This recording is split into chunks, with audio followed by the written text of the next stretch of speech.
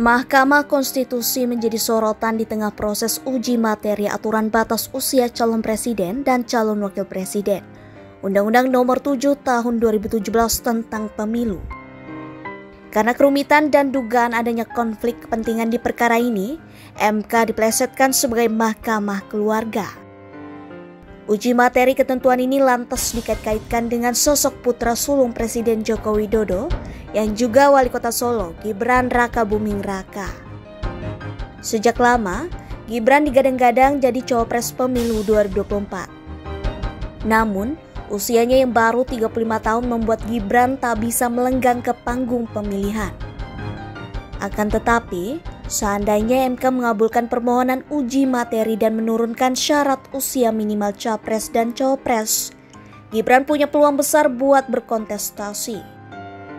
Gibran berulang kali disebut dalam bursa cawapres bakal cawapres koalisi Indonesia Maju Prabowo Subianto. Belakangan, PDI Perjuangan juga membuka peluang buat Gibran jadi bakal cawapres Ganjar Pranowo. Baik Prabowo maupun Ganjar sampai saat ini memang belum mengumumkan bakal cawapres masing-masing. Padahal, pendaftaran cawapres dan cawapres pemilu 2024 tinggal menghitung hari yakni 19 hingga 25 Oktober 2023. Sementara, saat ditanya kesediaannya menjadi cawapres, Gibran berulang kali menyatakan usianya belum cukup. Namun, politisi PDIP itu tak menjawab tegas mengenai kemungkinan MK menurunkan batas usia cawapres. Di sisi lain, hubungan kekerabatan antara Ketua MK Anwar Usman dengan keluarga Jokowi jadi sorotan. Bagaimana tidak, Anwar merupakan suami dari adik kandung Jokowi, Idayati. Dengan demikian, Anwar merupakan adik ipar Jokowi sekaligus paman Gibran. Anwar dan Idayati menikah pada 26 Mei 2022 lalu. Ketika itu, banyak yang meminta Anwar mundur dari MK demi mencegah konflik kepentingan.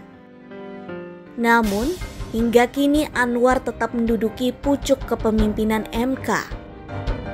Ia pun berulang kali berjanji tetap independen sebagai hakim konstitusi, sekalipun kini jadi keluarga besar Jokowi.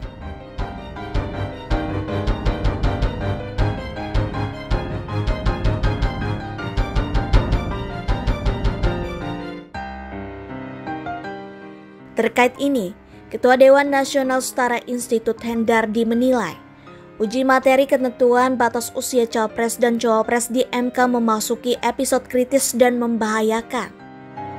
Pasalnya, pemohon tidak hanya meminta MK menurunkan batas usia Cawapres dan Cawapres, ada pula yang meminta MK memperbolehkan seseorang yang belum berusia 40 tahun maju sebagai Cawapres atau Cawapres jika punya pengalaman sebagai kepala daerah. Jika ditarik garis besar, kata Hendardi, sejumlah uji materi ini syarat akan nuansa politis, utamanya kepentingan dinasti politik keluarga Jokowi.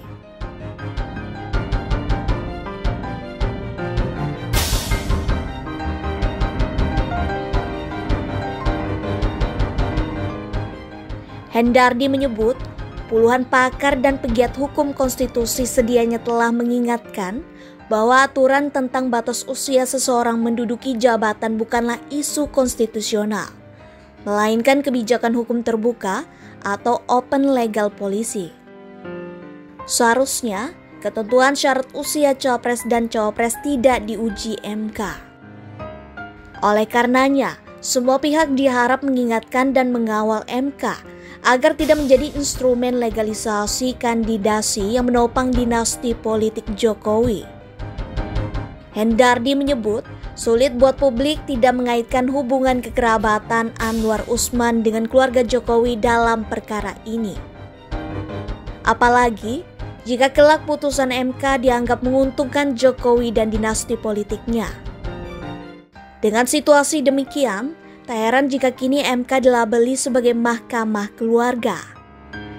Hendardi menambahkan, MK harus tahan ujian di tahun politik terusus soal gugatan syarat usia minimum capres dan cawapres yang kini menanti diputus.